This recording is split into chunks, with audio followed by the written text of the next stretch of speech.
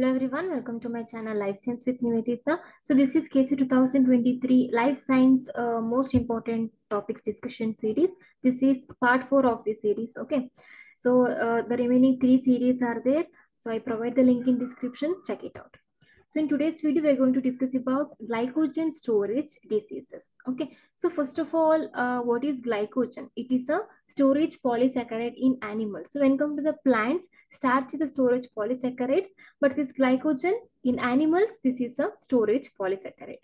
So the name itself says that is storage polysaccharide. It has to be stored in our body. And also during emergency conditions, it has to convert into glucose and provide energy to us, right? So here some metabolism has to be takes place uh, from the conversion of uh, glucose to, uh, uh, sorry, glycogen to glucose, right? Because glycogen is a polysaccharide, it is made up of glucose monosaccharides. It has to break down into monosaccharides and only it is uh, release some sort of energy because glycolysis has to take place some sort of ATPs has to be released in the form of uh, energy currency. Okay, so here just uh, have a look on the pathway here. You can see here, this is a uh, glycogen pathway. So usually glycogen is there. Okay, so with the help of this uh, glycogen synthase, glycogen phosphorylase enzyme, it has to convert into glucose 1 phosphate. Here also rebranching enzyme is there. From the glucose 1 phosphate, glucose 6, uh, it has to convert into glucose 6 phosphate. From glucose 6 phosphate, it has to convert into glucose.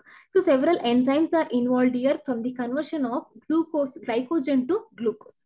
Okay, so usually in the glycolysis, glucose, uh, 6 carbon glucose is converted into pyruvate, that is 3 carbon, 2 pyruvates. But here, when there is no glucose in our body, our body needs energy, right? Our body has to work.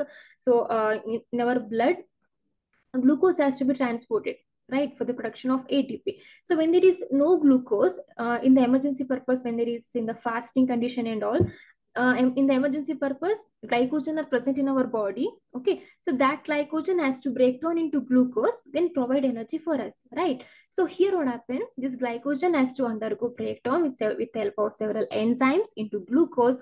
So here some enzymes deficiency takes place. So when there is a deficiency takes place, what happened? Some sort of uh, deficiency that is storage diseases will happen. So that is what called as glycogen storage diseases. Okay. So usually uh, seven main glycogen storage diseases are there. So along with these two more diseases also we discussed in today's video. Okay. So the first, the first glycogen storage disease, which one? You can see here that is type 1. Type 1 glycogen storage disease is a von Gierke disease. Okay. So just write VG. Just remember VG so in Gierke G is there, right? So the deficient enzyme, defective enzyme is what that is? Glucose 6 phosphatase. So in the last step from glucose 6 phosphate to glucose uh, conversion has to be takes place, right? So there the enzyme, which one? That is glucose 6 phosphatase. So for example, uh, usually 6 carbon is present in the glucose, right? So in the uh, 6, 1, 2, 3, 4, 5, 6 in the sixth position, one phosphate is there. So when the removal of this phosphate takes place, so now this structure we call as a glucose. For the removal of this phosphate, particular enzyme is responsible that is glucose 6-phosphatase. In the case of glycolysis, which enzyme that is hexokinase are there, which is a donor of phosphate. So there glucose to glucose 6 phosphate conversion takes place. But here glycogen is converted into glucose. So that's why what happened? The 6-phosphate which is present in the 6 carbon has to be removed. So for the removal of 6-phosphate, which enzyme is responsible? That is glucose 6-phosphatase enzyme is responsible. Okay, so here in the type 1 glycogen storage diseases, it is von Gierke disease. So the deficient enzyme is what that is glucose 6-phosphatase is the defective enzyme. Okay, so when this phosphate uh, will defect, what happen? That will leads to the storage of other substrate the storage of glycogen. Okay, uh, there is no conversion of glucose. That means what? The storage of glycogen takes place, which will leads to a accumulation of glycogen in particular organs. Okay, so when come to the type 1 here, two organs are affected, that is liver and also kidney. Okay.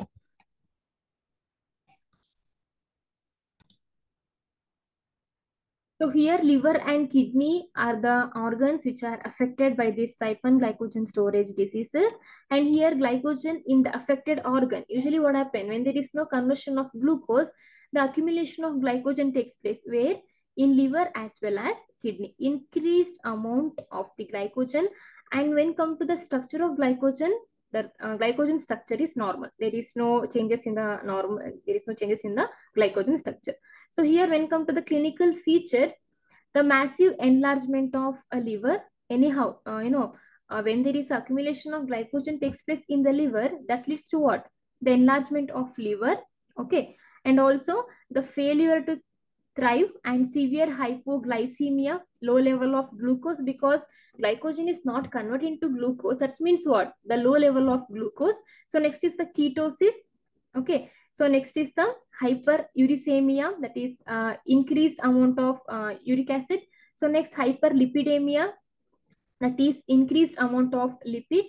Okay. So these all are the clinical features of this type 1 that is von Gierke uh, glycogen storage disease.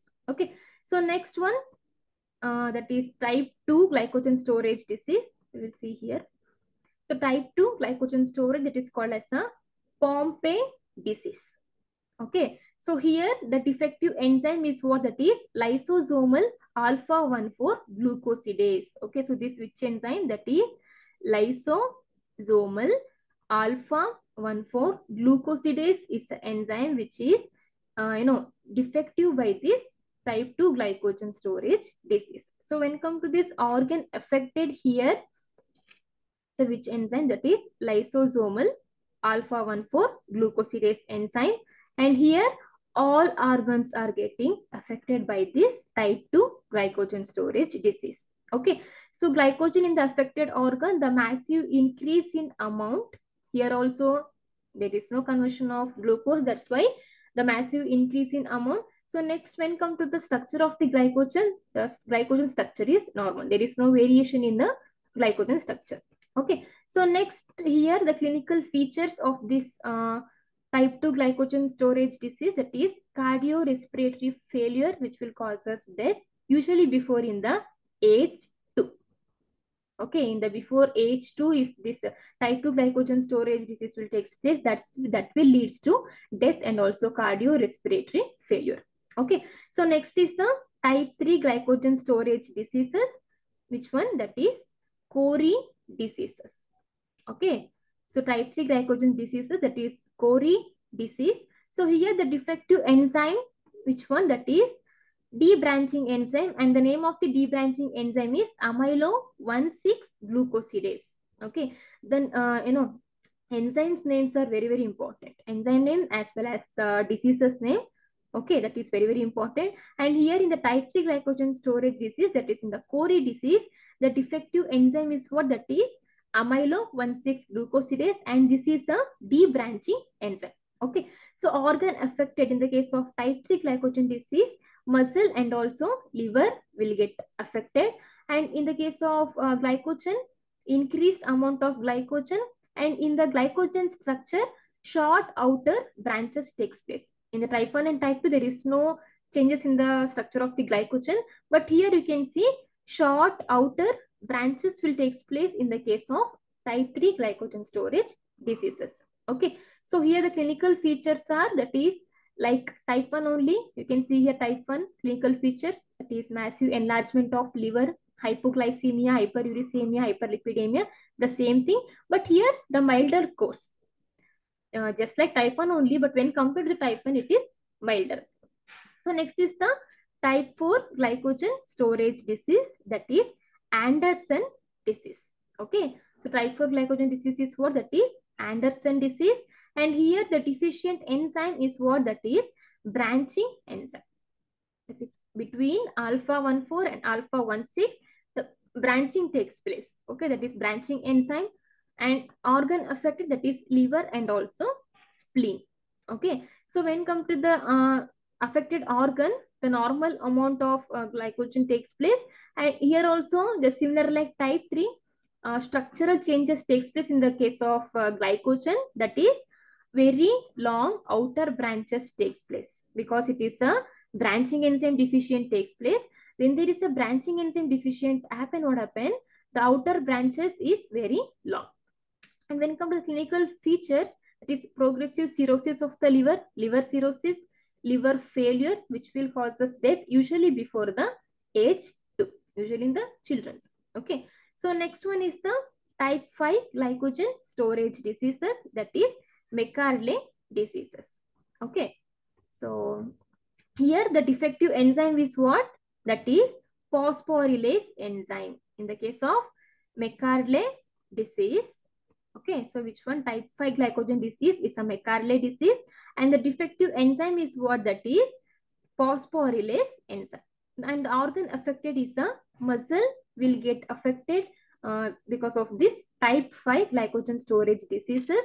And glycogen in the affected organ so moderately increase the glycogen.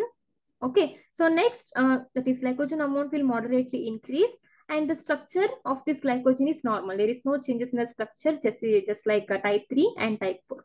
Okay. So when come to the clinical features of this type 5 glycogen storage diseases, limited ability to uh, perform strenuous exercises because of painful muscle cramps. You can see it is only affected to the muscle. That's why it is painful muscle cramps. Otherwise, patient is normal and well developed. Not such severe uh, no clinical features. So next is the that is type 6 glycogen storage diseases. That is Hers disease. Okay, type 6 is what? That is Hers disease. And here the defective enzyme here also that is phosphorylase enzyme is getting defective in the case of type 6 glycogen storage diseases. And here the organ affected that is liver will get affected uh, because of this type 6 glycogen storage diseases. So here the glycogen, the glycogen amount will get increased, increased amount of glycogen. And here the clinical features are like type 1 but milder course. Okay. So next is type uh, 7 and type 3 are the two more glycogen storage diseases. So here in the case of type 6, phosphofructokinase enzyme will get affected. Okay. So here muscle is the organ which is affected by this type 7. Okay. So here the increased amount of glycogen takes place and the structure is normal. And here the clinical features are just like uh, just similar like type 5. You can see the McArdle is a type 5 glycogen storage diseases, right? So here the clinical features are similar of McArdle glycogen storage disease. And the last one is what that is type 8 Okay, so here the uh, defective enzyme is phosphorylase kinase. Phosphorylase kinase is a defective enzyme and the organ affected that is the liver. Liver will get affect uh, because of this type 8 glycogen storage disease. So here also increased amount of glycogen takes place and the structure of glycogen is normal. And the clinical features are mild liver enlargement because organ affected which one that is liver will get affect. That's why liver enlargement takes that is mild. So next hypoglycemia, the glucose level will decrease that is mild hypoglycemia in the case of type 8 glycogen storage diseases.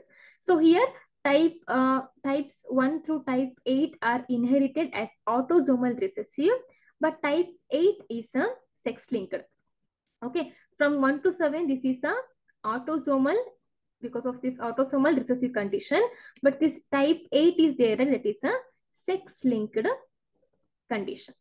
Okay, so these are some important glycogen storage diseases. Uh, just go through the defective enzymes, types, organs, and also clinical features. So uh, there is, you know, this type of question is not only in KSET, in any exam. There are many life science exams are there like CSIR, ICMR, DBT, GATE, like that. So this chart is just like, you know, just fast revision like that. Just go through this slide, that's more than enough. If any doubts, just let me know in the comment box. So if you like this video, please like this video because that will give some motivation to do some more videos like this. Okay, so thank you so much for watching. Subscribe to my channel for more videos.